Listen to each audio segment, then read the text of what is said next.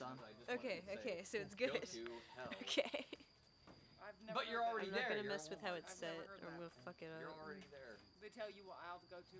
Yeah, because it's such a goddamn long line. I was there for you.